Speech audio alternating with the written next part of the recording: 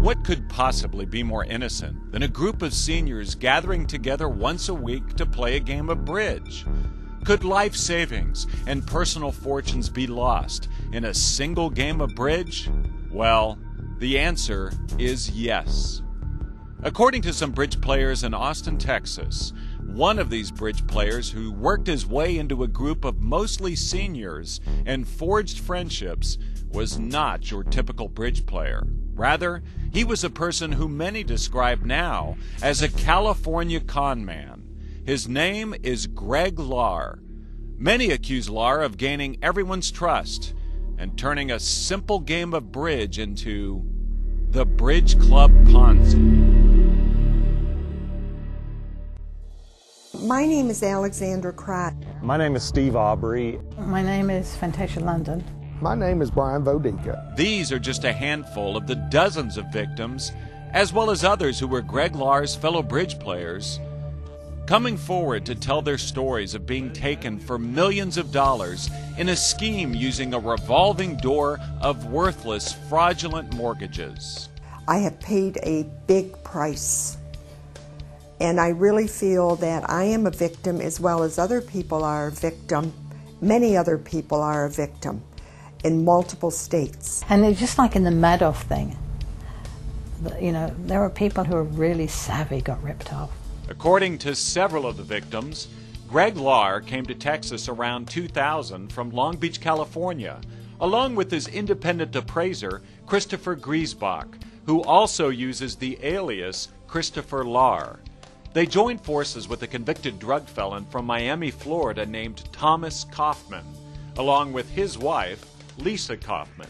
The other thing that was absolutely fraudulent that I had no idea about until I had um, a long interview with a guy from an FBI agent was that Thomas Kaufman was not Thomas Kaufman. He's Todd Kaufman is his legal name. He was operating under a fake name and a fake uh, social security number. Fantasia London says $100,000 was stolen from her in these fraudulent mortgages signed by Kaufman and Lahr. Using the name Capital Advantage, they allegedly created, marketed, promoted, and sold what they referred to as private trust deeds to unsuspecting victims like Fantasia London across the country. Their predatory motive was to collect exorbitant lending fees. The victims say that Kaufmans and Lahr made claims of extensive due diligence to protect the investor. These mortgages were supposedly secured by properties that the victims were told were worth much more than the loan amounts. And the appraisal was highly inflated. I don't, you know, they had appraisers who who they worked with who just highly inflated appraisals because the money was they're supposed to be I can't remember like 60% of value or something. That was totally not the case. There are people out there, fraudsters that are that are looking to make a, a quick buck. Kurt Novi is president of Corporate Mortgage Advisors out of San Diego. His firm specializes in fraud analysis and investigation. From my experience, the private notes that I've reviewed in transactions and cases that I've worked on, there is a high degree of fraud involved in these transactions. And, it, uh, and that ranges from application fraud, stating false information on an application, to using an overinflated appraisal that, that was selected by the, by the mortgage broker, and uh, steep appreciation in value in the property without any explanation. Victims also point to documents that show the property pledged to secure the loan was not even owned by the borrower. As some of these investors began to discover they were swindled, multiple lawsuits followed.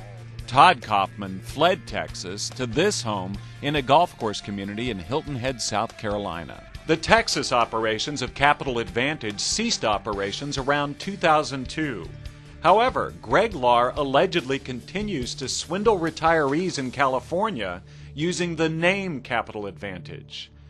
The fraud victims say Lahr and Lisa Kaufman created two new shell companies to continue their Texas mortgage lending operation despite not having licenses from the Texas Securities Board, the SEC, or the Texas Department of Savings and Mortgage Lending. One of the defrauded investors who claimed Lahr and Kaufman sold her worthless loans was Sandra Gunn. Shockingly, at the same time Sandra Gunn was suing Lahr and Kaufman's Capital Advantage for selling her worthless mortgages, victims say she joined the forces of evil, arranging for Lahr and Kaufman to continue the sale of worthless mortgages under the newly minted name Creative Financial Solutions. There's their little marketing material. We offer clients fully collateral secured first and second mortgage loans that do not exceed 65% of the appraised value. Hmm. When the alleged fraudster started operating under the new name, that's when this victim, who wished not to be identified, was lured into the scheme. Right, I had $50,000 into two properties with this company, Creative Financial Solutions. And it was Lisa Kaufman who was the person I worked with all the time just straight out con artist. He was among the investors whose loans were secured by this building in Temple, Texas. He was told it was a retail property being refurbished, when in reality, it was a vacant and uninhabitable apartment building. It wasn't long before the owner and borrower of this building started writing hot checks for payments. He sent me another check, boom. Next month, hot check like, okay, what's going on here, Lisa? Oh, well, uh, blah, blah, blah, cash flow. The, so he had trouble with some of his tenants. So what they were doing was sending back part of your money to you, right? And my money was nothing more, you won't call it Ponzi. This was obviously a Ponzi. Here's where they paid us back with our own money. They all lied, every one of them. Lisa, Greg Lahr. As a typical Ponzi scheme, the the investors are paid off uh, as, as people need their money. New investors coming in are supplying those funds, and the majority of the money is, is sifted off to the, uh, to the fraudsters who are setting up the, um, the schemes, the Ponzi schemes. The rest went to the first and second lien holders, which, if that's not a Ponzi scheme, I don't know what is, right? Taking money that I gave them and paying off the first and second lien holders. Ponzi schemes, we are seeing more and more of them. It uh, generally has not been involved in these private loans in the past to a great degree, but again, we're seeing more and more of them, and consumers need to be very careful and diligent. Yeah, I think Thomas was doing, um, and Greg too, Greg Lahr as well. Um, I think they were doing a kind of Ponzi scheme. Victims say Lahr's CPA, Mark Schiffgens, formed yet another shell company, Creative Lending Concepts, to front mortgages for Lahr and Kaufman. The new business enterprises, Creative Financial Solutions and Creative Lending Concepts, allegedly specialize in partnering with known criminals to divert investors' retirement savings for nefarious purposes. This type of Ponzi scheme is detailed on the Securities and Exchange Commission website. The SEC based this warning to the public on another land investment scheme originating from Orlando, Florida, called Legend Sports that involved Russian mobsters in New York. Victims of the scheme in Texas say Greg Lahr also partnered with this man, prominent Austin real estate developer Peter Barlin, who has owned multiple office buildings, apartment complexes, shopping centers, including Penfield Design Center, and other ventures such as the Zen restaurant chain and Ruta Maya Coffee House. Lahr lived in Barlin's garage apartment near downtown Austin. A recent example of Barlin, Lahr, and Kaufman's alleged scheme involves this land in Manor, Texas, just east of Austin, right next to the intersection of the new toll road and Highway 290. It is here where Barlin introduced Lahr to a Russian national, Vitaly Zaretsky, who victims of the scheme say worked in secret with another Russian national, Victor Wolf. Wolf was already wanted by the FBI in Florida for a $100 million real estate fraud scheme, which the St. Petersburg Times called the $100 Million Vanishing Act. Barlin, Lahr, and Lisa Kaufman arranged for a group of investors to loan money to Vitaly Zaretsky. The loan was secured with this property next to the two major highways. Two of the investors lured into the deal were Brian Vodica and Steve Aubrey. They were promised a very secure, over collateralized mortgage investment. I was even told that it was almost like a win win situation if a borrower did default, because I'd have a property worth twice what, what, my, what my investment was in it. They convinced us that this land was going to be developed with houses. Now we know their intent was just take as much money as they could and run. This is the development plan that we were shown. One of the big improvements that was going to happen to this property was an extension of a major thoroughfare called Braker Lane. And right here it says Braker Lane approved. Turned out to be totally bogus. None of this has been approved by the city. Victims say they later learned that Zaretsky was actually a straw buyer or frontman for Wolf and a group of Russians from Brighton Beach, New York a well known haven for Russian organized crime. After swindling as much as they could with this land through Barlin, Lahr, and Kaufman, the Russians disappeared with the money and then dumped their shell companies in federal bankruptcy court.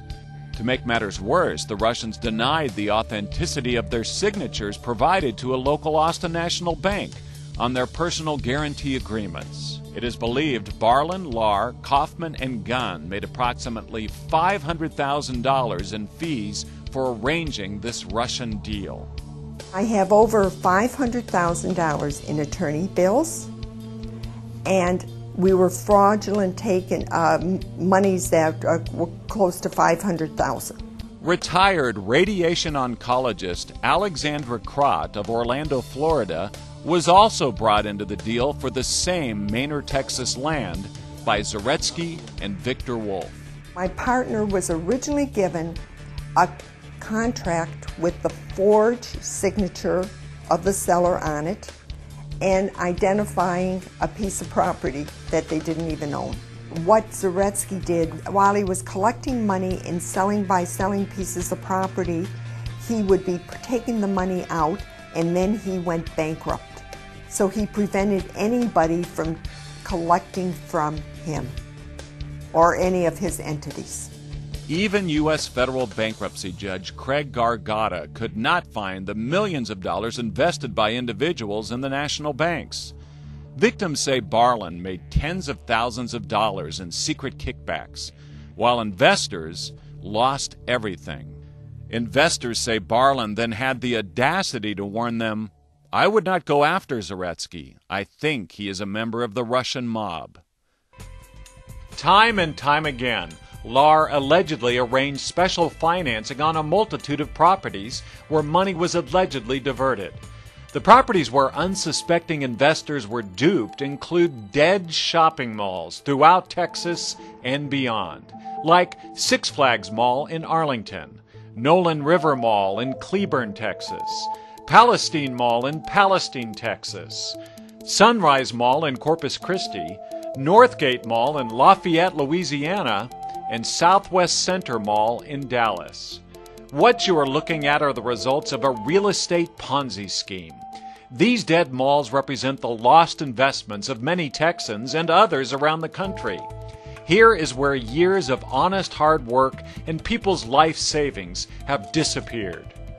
Another Barlin and Lahr borrower on many of these deals is Thomas E. Morris, who was indicted about 20 years ago for real estate swindling in Dallas. On the Manor, Texas land near the major highways, Aubrey and Vodica were shown a $49 million appraisal on land that in fact is worth a fraction of that, making the entire mortgage worthless from the outset. This is where the bulk of our life savings in 30 years of effort and, and our home is, is, is, was put into this, but is gone now. We don't own this. It's been taken from us.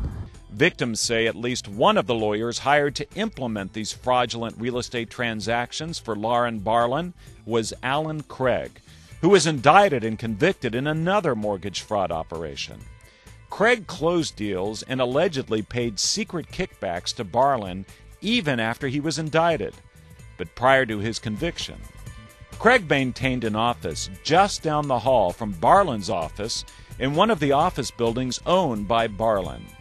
Craig allegedly paid Barlin secret kickbacks shortly before serving time in prison.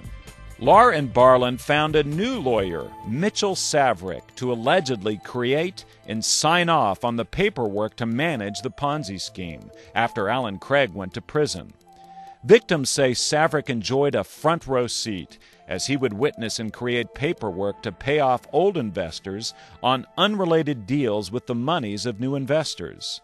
Savrick is accused of going as far as backdating new documents to cover his tracks after the investors' money was stolen. Victims continue to be frustrated with the accountability of law enforcement. To date, neither the FBI nor the SEC have done anything to stop the crime involving at least 500 victims and more than $100 million lost. The FBI has had multiple reports and has many opportunities to stop this crime. The alleged fraudsters just continue to prey on more victims. I see that on a regular basis where, where people are investing with, with one person or one company and then it, it rolls into a different name. It's a disguised name and they just duplicate a scheme that, uh, that works well. They just uh, recreate it under a different name in a different city, and it just goes on and on. I want Thomas stopped. I don't want any. I mean, that's why I went to the FBI all those years ago. You know, and filed a complaint that he shouldn't do this to other people, and neither should Craig actually. So this begs the question why a, a, a scheme that is totaling over 500 victims, over $100 million, is not getting the attention of the FBI. It does happen quite frequently. frequently that, uh, that, that people are, their voices are not heard when they're, when they're taking losses and they're losing large amounts of money. It's, uh, it, it's, it's damaging to them. Obviously, they're, they're losing their investment, they're losing their income stream, and they are, are not typically heard by, by local prosecutors. For, for 10 years, people have been coming forward, have had the courage to come forward and file complaints and to bring this to the attention of law enforcement, and yet nothing has been done. And this continues to go on. My own money being gone is was probably the hardest, but for them to be sitting there continuing to do it and to scam people, that's a slap in the face. Just an absolute slap in the face. Right? Government does nothing to stop it.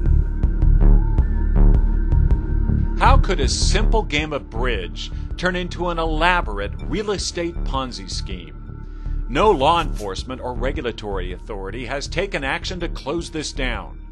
Well known Ponzi schemes run by Bernard Madoff and allegedly by Allen Stanford, who is awaiting trial, continued for years until law enforcement shut them down. Here, despite numerous victims having made repeated complaints to state and federal authorities, no action has been taken.